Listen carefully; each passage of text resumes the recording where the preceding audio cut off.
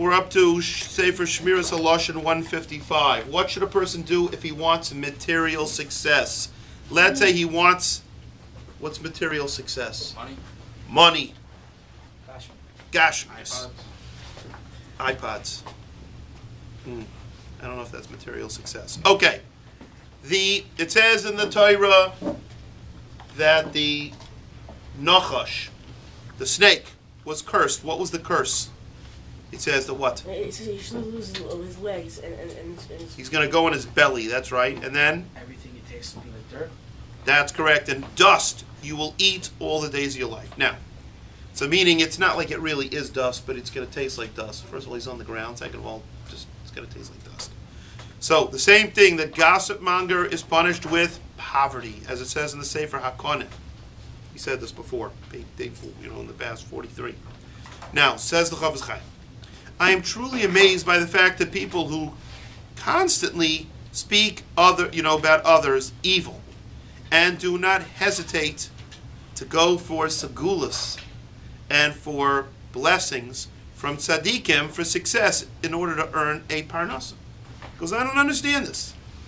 They go around all these people. They're thinking, "Oh, I'm going to go to this tzaddik, and he's giving me a bracha. And I'm going to go to. I'm going to do this special thing. It says if you eat, you say, you know, uh, challah that's uh, been home baked, you know, uh, then taken, you know, and you did the mitzvah challah, you're going to have parnasa. If you wash your hands with lots of water from the tilas yadayim, you're going to have lots. It's a it's a segula for ashiras. He says, do you expect a blessing to outweigh the strength of their averus?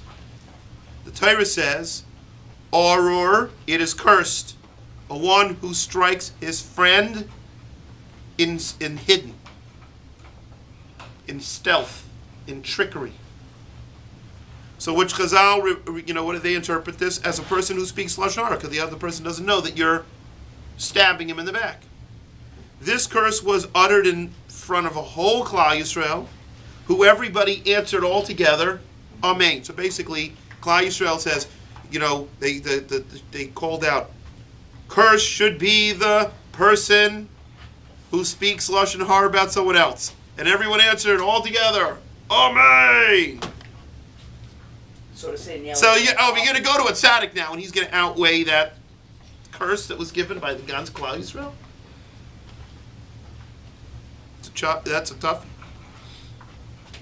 Yeah, what do you hear about that? What do you say about that one? Are You're going to wash your hands at Tilas Yadayim with lots of water, and that's going to so take off a curse. So everyone speaks Lashon Hara like these kind of things. I mean, people try not to, but they end up doing it. So why everyone running for blessings and and That's see what he's asking.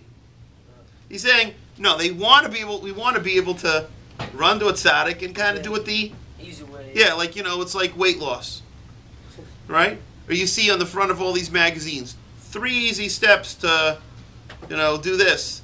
You know, uh, four steps to having the perfect marriage. Uh, you get what I'm saying? It's like four steps. You have four little things and shine. That's it. One step to having material success. Go to a tzaddik for a bracha. Oh yeah, but what about everything else? Hmm. He says, if a person would come to me for advice, says the Chafetz Chaim, and he wants to have, a, he says, I'd like to have material success. I want to be, I want to have hatzlocha and parnasa. He says, I would tell the person, be very careful in regards to a lashon hara. In that way, the Torah says, because the, the Klal Yisrael said, "Blessed is the one who does not strike his friend in stealth." And the whole Klal Yisrael answered, Amen. Got a blessing for the whole Klal Yisrael at the time of the Midbar. These were holy, hundreds and uh, millions of Jews. Millions of Jews, which were much greater than any tzaddik we, we know, answered, Amen. So they all gave you a blessing if we're careful about not striking someone else in secret. Behind the back. Additionally, a person should avoid any type of robbery, charging interest, or any other act that might cause someone else monetary loss. He says if you're careful about that, that will bring you success.